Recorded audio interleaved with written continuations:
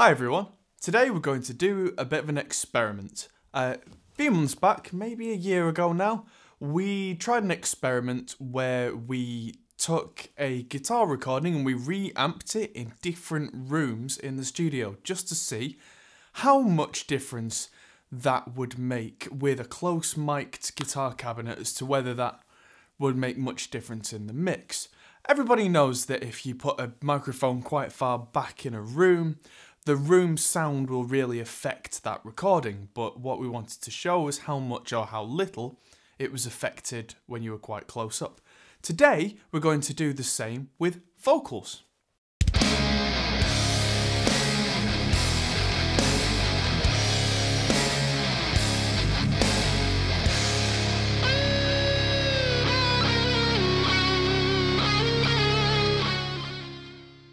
So, uh, we're going to use our theme tune today just because I'm really kind of rushing around and I need something that's not copyrighted by somebody else.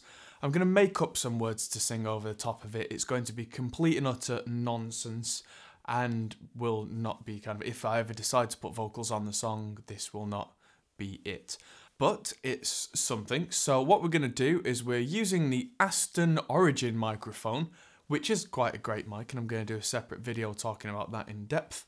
Uh, we're going to use an Audient ID22, and we're going to use an iPad to do the recording because the iPad doesn't make any noise, which means that we can use it in each room and not have to have kind of a in the background from any kind of laptop or anything.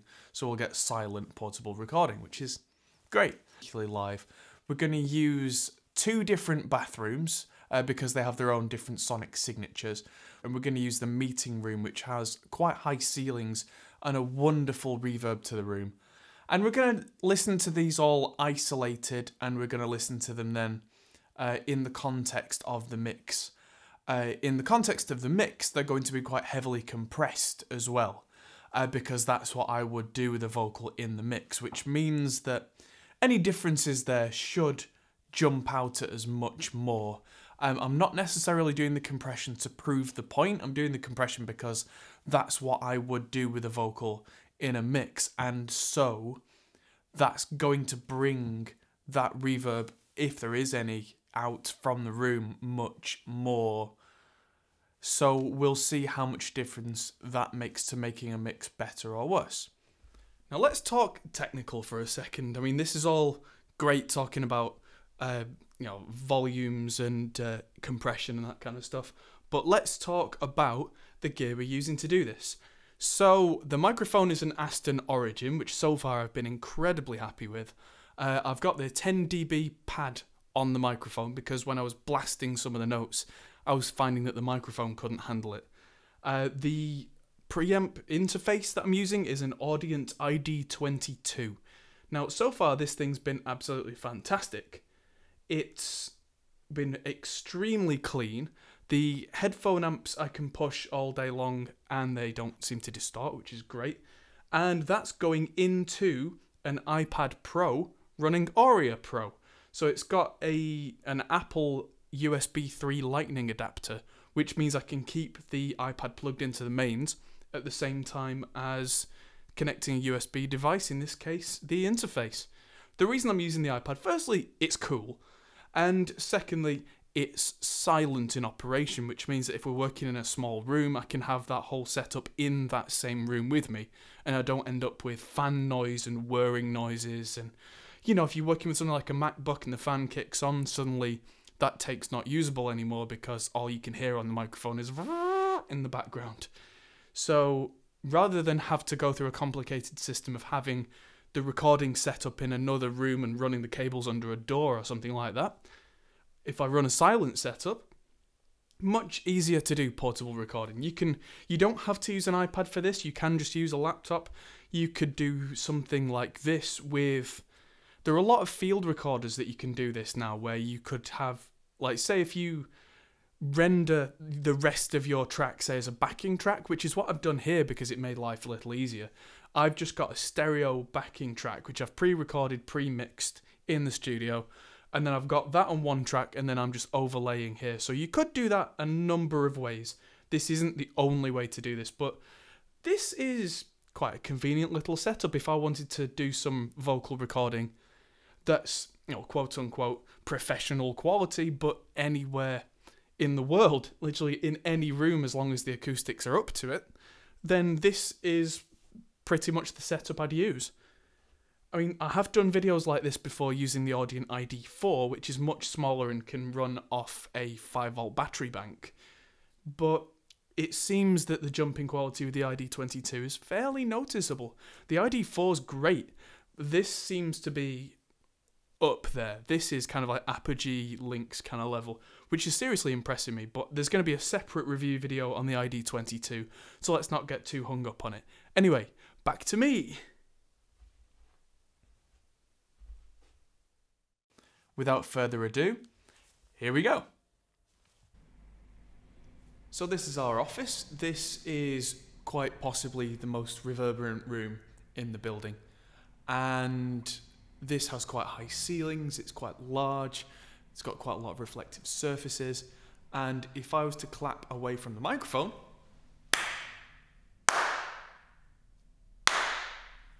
you should be able to hear quite a lot of kind of a long tail on that echo, which I always thought would be quite nice to record drums in here. I've never actually had a chance, but it's something I might do in the future. Um, question for me with vocals is how much is it going to negatively affect things if I then want to, say, heavily compress and try and fit a song into the mix? So that's what we're going to try now, and let's see what we get. Hey! Where will you go?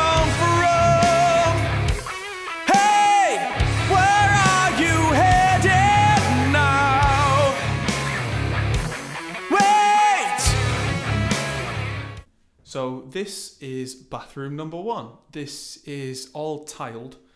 Uh, there's a, a big kind of gap in the ceiling, so it's got quite a tall ceiling relatively. And it's kind of the second most reverberant room in the building. And I suppose because it's much smaller than the main office, it's going to stand out much more as a, an echo reverb kind of thing. So let's see how that sounds on its own and in a mix.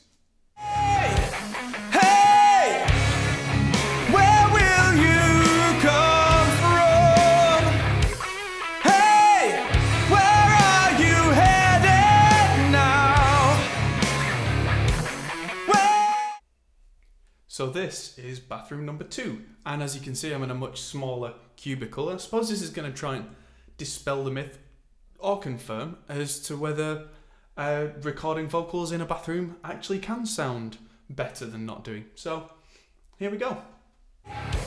Hey! Where will you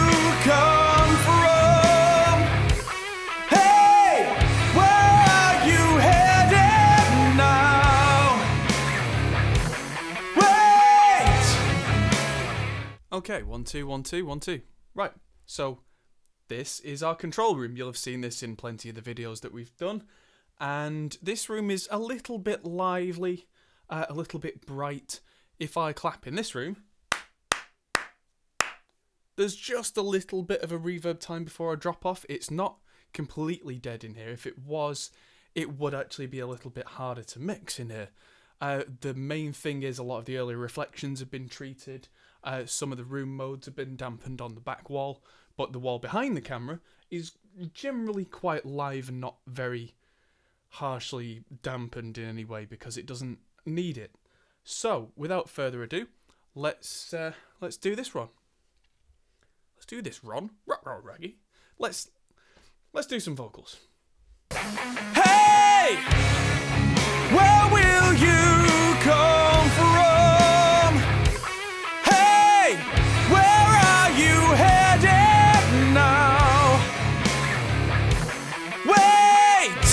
This is our live room, or at least this is what I would describe as our main live room. It's quite a bit larger than the control room. It's, oh, I don't know, uh,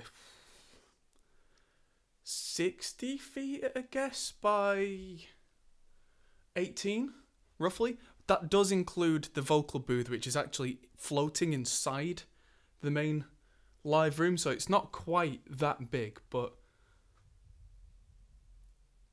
maybe 50 feet by 18, I, I guess. I'd have to get a tape measure out. We've got all the schematics and the blueprints, but it's not a small live room, that's for sure.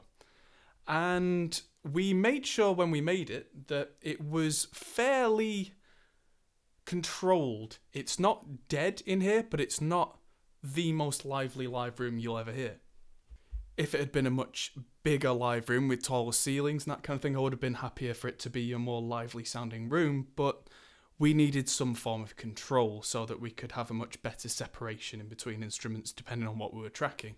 But we didn't want it to be too dead so it felt like you were recording inside an anechoic chamber. That's what the vocal booth's for, and we'll talk about that soon. So, on with the vocals. Hey! Where will you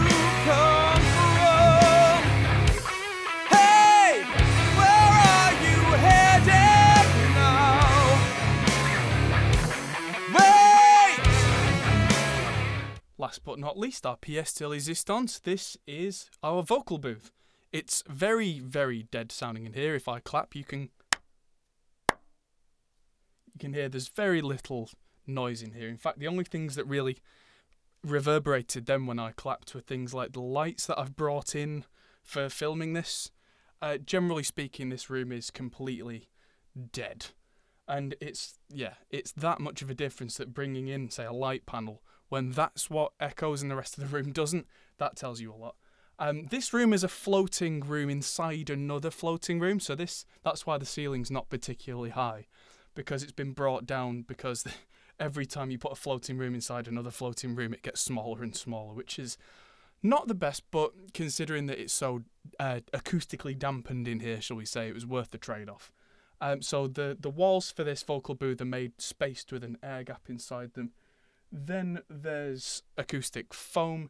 Then there are metal panels which have a certain hole size perforation, which only lets certain frequencies through. Then there's even more acoustic foam, mostly to stop any vibrations of the metal.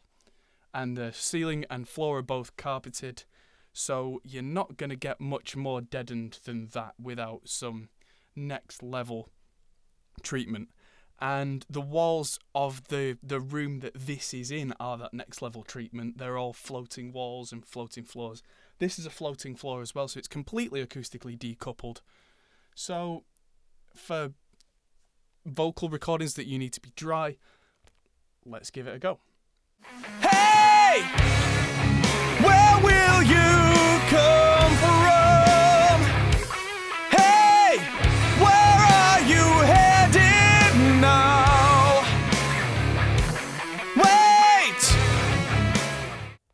And here are those samples again, back to back in a kind of digestible format. So we're going to do all the uh, all the dry tracks back to back, then all the distant dry tracks, then all the mix tracks in a back to back format so you can hear that.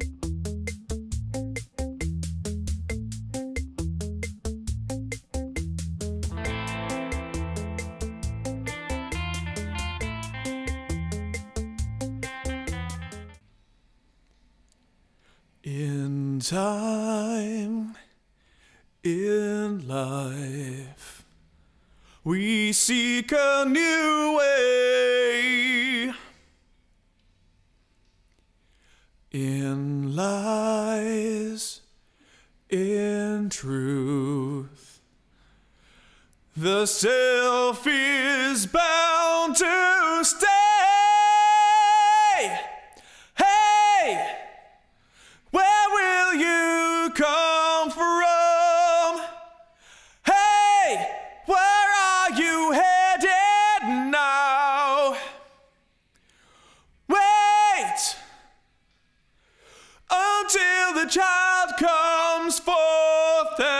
And takes you into the clouds. In time, in life, we seek a new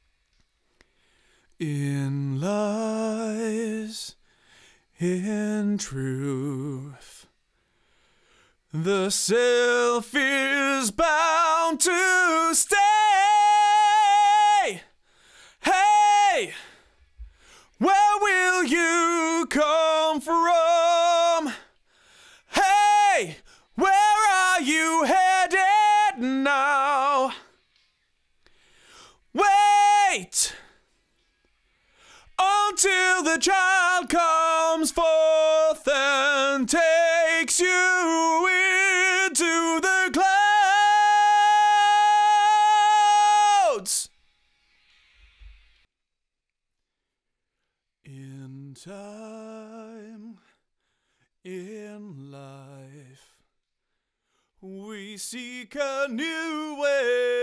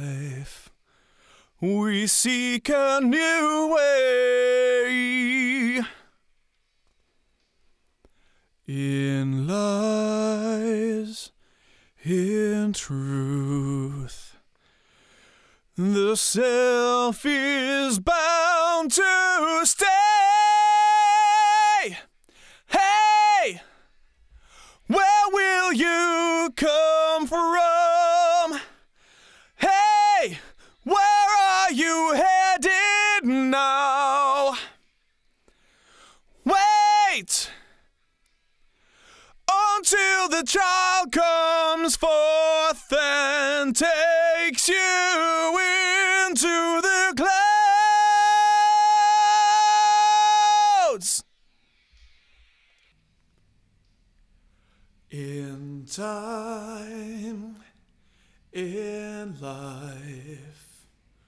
We seek a new way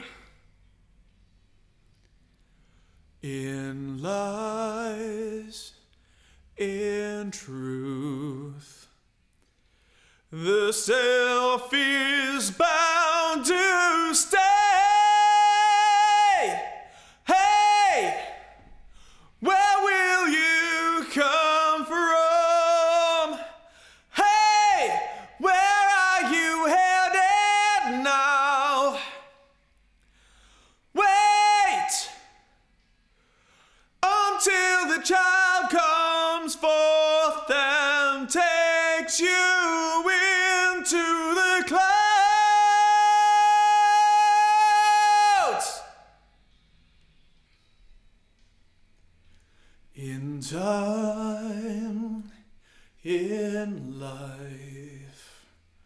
We seek a new way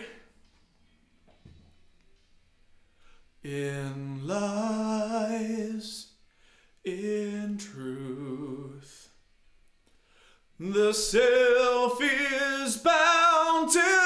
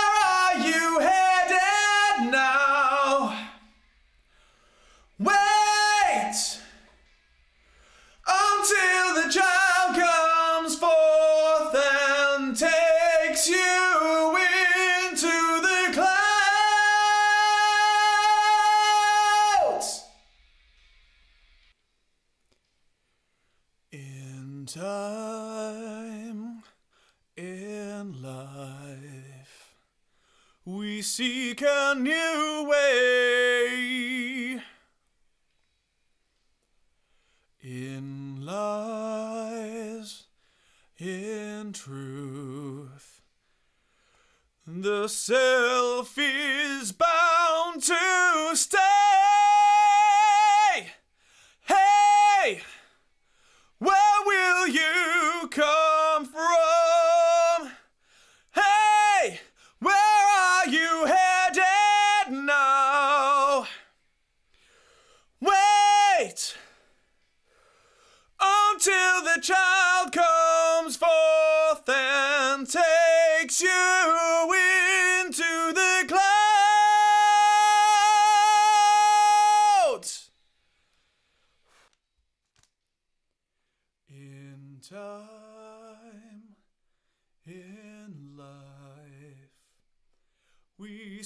canoe.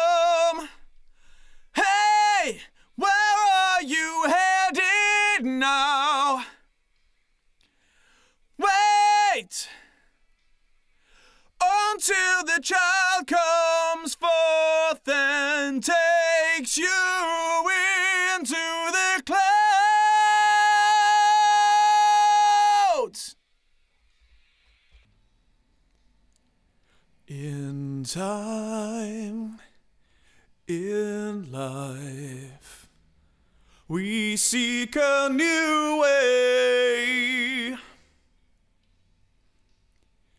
in lies, in truth. The self is bound to stay.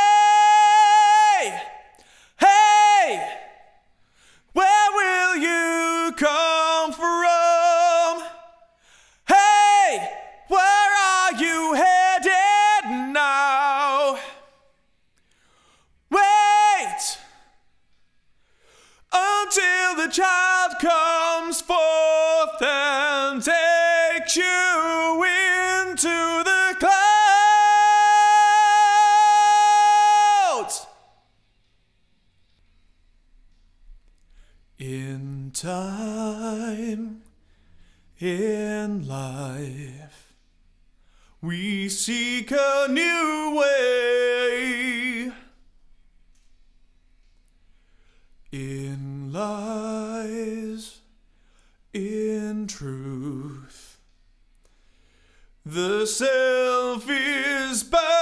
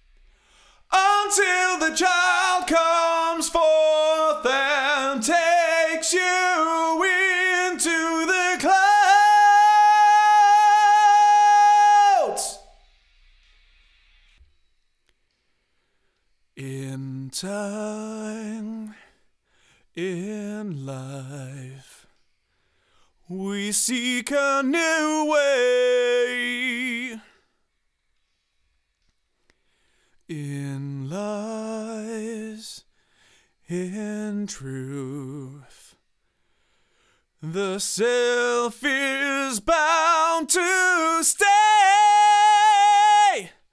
Hey, where will you come from? Hey, where are you headed now? Wait until the child comes forth.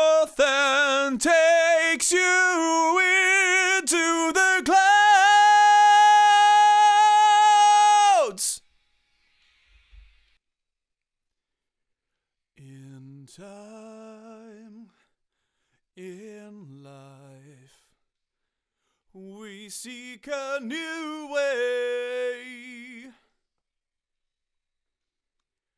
in lies, in truth. The self is bound to stay. Hey, where will you come?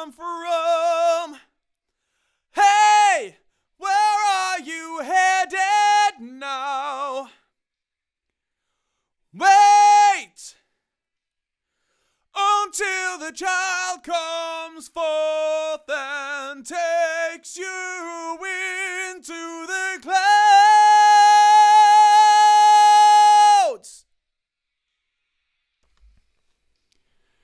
In time, in life, we seek a new way. In lies, in truth, the self is bound to stay. Hey, where will you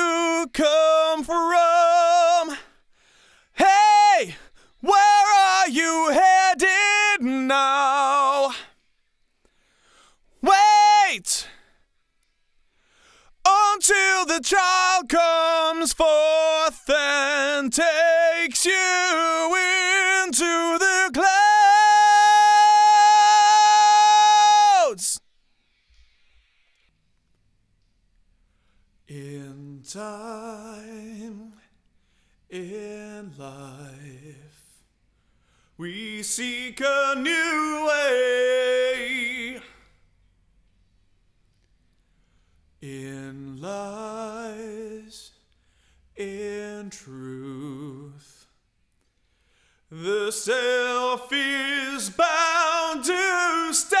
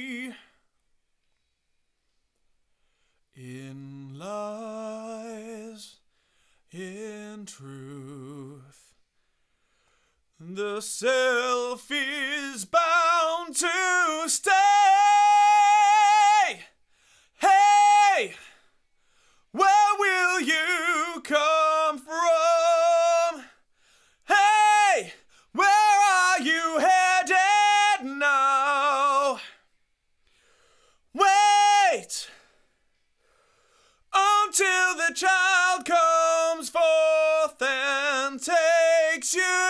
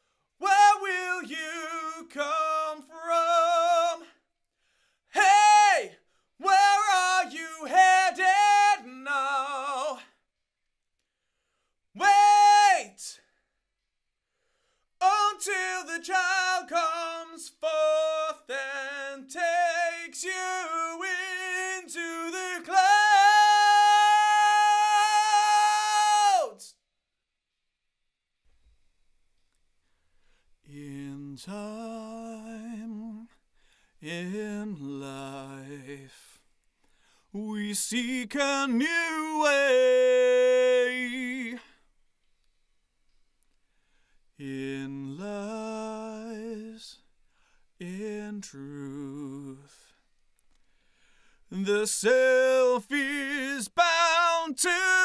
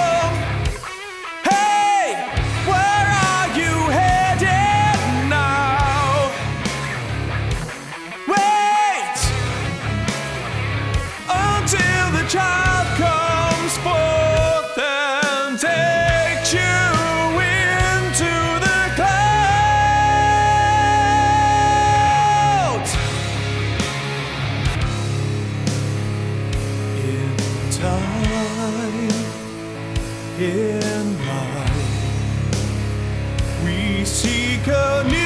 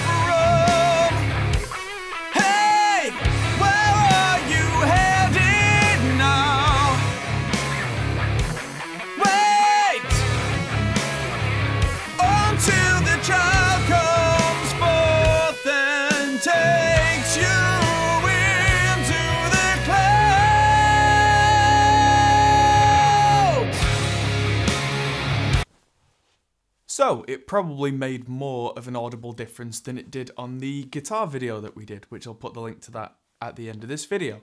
Uh, probably partly because uh, we are, you know, six inches away from a microphone is fairly standard. You wouldn't get much closer apart from if you're doing something quite unusual.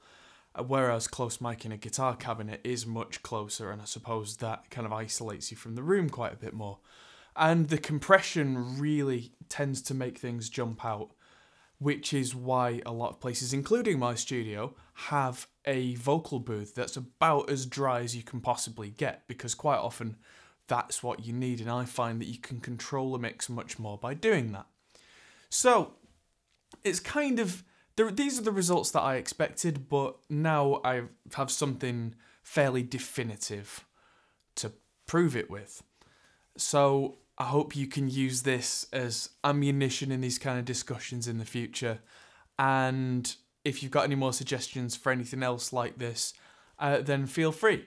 Uh, I will be happy to try out new and interesting experiments. So Thank you everybody for watching. We'll be back to the usual gear reviews and tutorials and that kind of thing next week. So uh, look out for that kind of stuff and subscribe to the channel if you haven't already. It's really appreciated and there's a lot coming as always. So thank you everybody for watching. I'm Adam Steel for the Hot Pole Studios and I'll see you in the next video. Goodbye.